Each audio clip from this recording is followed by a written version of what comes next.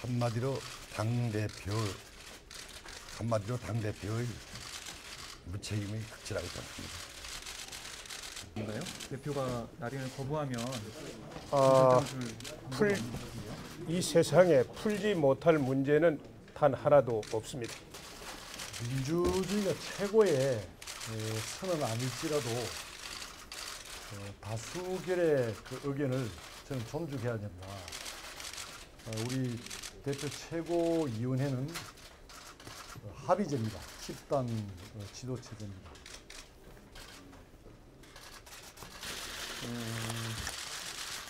지금 어, 우리 새누리당이 어, 좀 상황이 비상 상황이 되고 있습니다.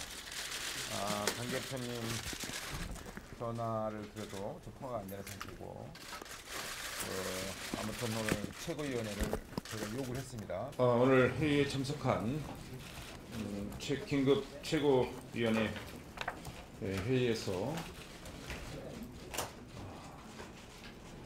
의결된 사항을 말씀드리도록 하겠습니다. 어, 오늘 김무성 대표께서 기자회견에서 밝힌 바 최고위원회를 개최하지 않으시겠다는 것은 정상적인 당무를 거부하는 아, 심각한 상황입니다. 둘째, 새누리당 최고위원회는 집단 지도 체제이고 합의로서 의사 결정을 하는 민주적인 체제입니다.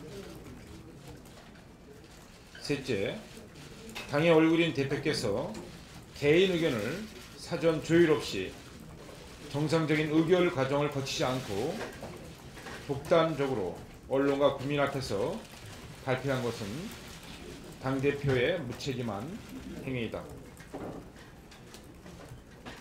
이에 우리 최고위원들은 긴급 최고위원회를 소집하였고 김무성 대표는 조속히 최고위원회에 참석해 긴급한 의결 과정을 진행시켜 줄 것을 강력하게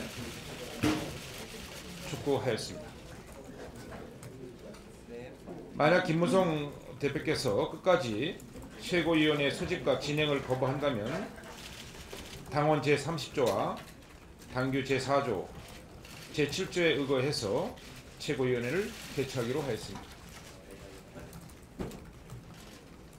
우리 새누리당에 공천을 신청한 신청자들은 공모 담임권을 침해당하고 있는 아주 심각한 상황에 있는 것을 말씀드려듭니다. 아, 저는 오늘 바로 이, 이 최고위원회 의결 사항을 에, 발표한 후에 에, 부산으로 내려가서 김무성 당 대표님을 뵙고 어, 우리 새누리당의 최고위원회의 정상화를 위해서 회의를 열어줄 것을 요청드리고자 합니다. 아, 지금 어, 제20대 총선이 얼마 남지 않았고 어, 집권 여당인 우리 새누리당이 이렇게 지도부가 혼란스럽게 진행되고 있, 있는 것은 아, 국정에도 지대한 영향을 미칠 수 있는 아주 어, 중차대한 상황입니다. 따라서 어, 김무성 대표께서는 하루빨리 우리 새누리당의 정상화에 적극적으로 어, 동참해 주시고 당무를 정상적으로 운영해 주실 것을 간곡하게 요청드립니다.